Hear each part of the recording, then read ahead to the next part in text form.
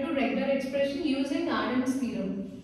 So this finite we already saw in our last class like a finite automata to regular expression can be done using two methods. One is the Arden's theorem and second one is the state elimination method.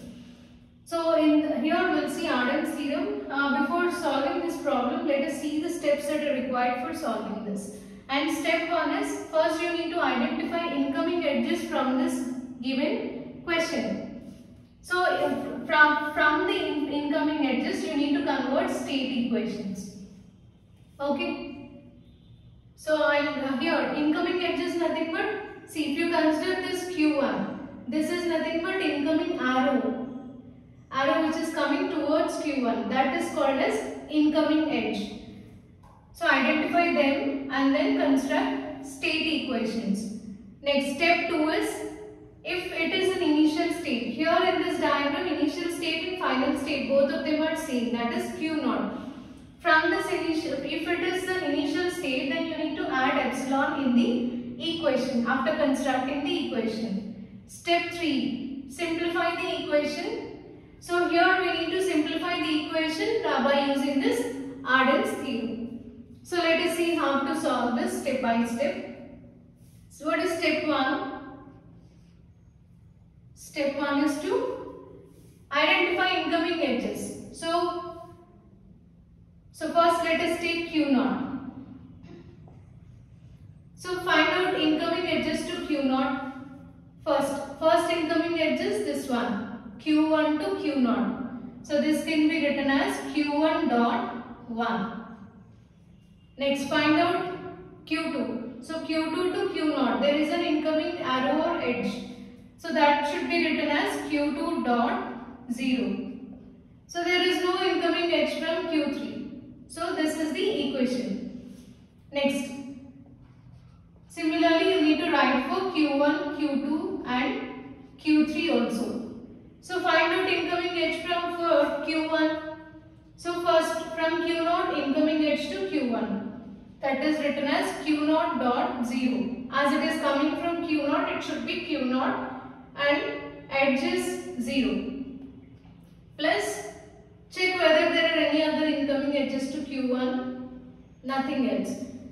Next Q2. What are the incoming edges to Q2? Q0 dot so here uh,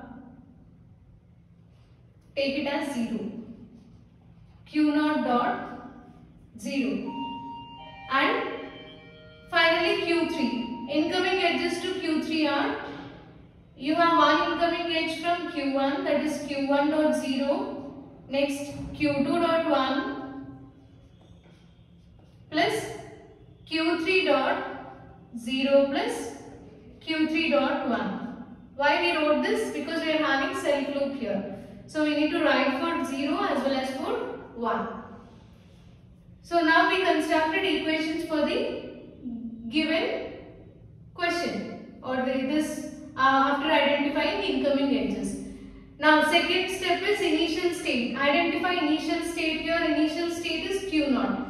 So you need to add epsilon to that equation. Add epsilon at the end of this equation. Next, simplify this equation using Arden's theorem. So now we need to simplify one equation from this. We need to choose the final state. For you need to solve the equation with final state. Here final state is Q naught. So we need to solve this equation Q naught by substituting Q1 and Q2 based on the requirement.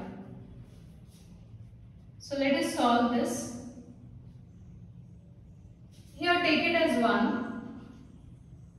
So Q naught dot 1. Okay. So now in order to solve this we need to substitute Q1 in this equation as well as Q2. So Q1 is giving Q naught dot 0 and Q2 produces Q naught dot 1. So remember them Now substitute them in this equation. It can be written as Q1. So in place of Q1 substitute Q0 dot 0. So Q0 dot 0 dot 1 plus In place of Q2, substitute Q0 dot 1. This 0 remains as it is plus epsilon. So this can be written as Q0 dot 0 dot 1 plus Q0 dot 1 dot 0 plus epsilon. So this is Q0. So write this in terms of Q0, Q0 dot. Here uh, it can be written as Q0 dot 0 dot 1 or Q0 into 0 plus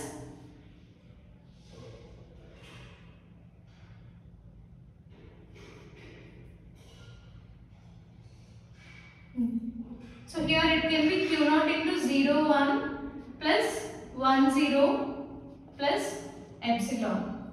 Okay, take this q 0 common and here this is 0 1 and here it is 1 0. So after getting this, check whether this is in the form of r equal to rp plus q or not. Yes, this is in that form. So here R should be same. Based on this R only you will uh, find out remaining terms. So R equal to Rp star. What is our equation? If any equation is in the form of Rp plus Q then you need to convert it into Qp star. This is nothing but uh, the equation which we use in Arden's theorem. Okay, first check whether the equation is in this form. If so, you need to convert it into Qp star. What is Q here? epsilon p is this one 0 1 plus 1 0 star whole star so anything multiplied with epsilon it gives you regular expression only. So your final result is 0 1 plus 1 0 whole star. So this is how the given finite automata can be converted to regular expression. So answer for this is 0 1 plus 1 0 whole star.